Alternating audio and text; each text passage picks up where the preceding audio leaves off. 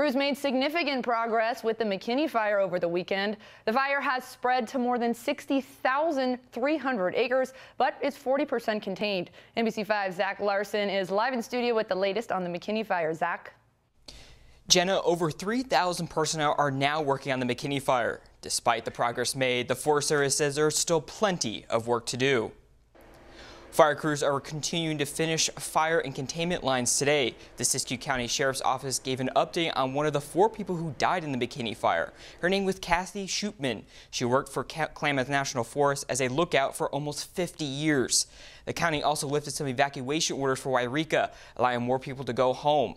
As people return home, the next few days will be a crucial test for containment, with wind gusts expected to be up to 35 miles per hour that is the point where we really test those lines.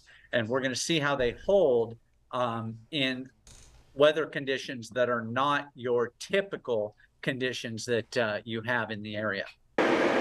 Lemberry also says he expects the containment percentage to go up in the next few days, thanks in part to the number of crew members on the ground and progress made from the weekend.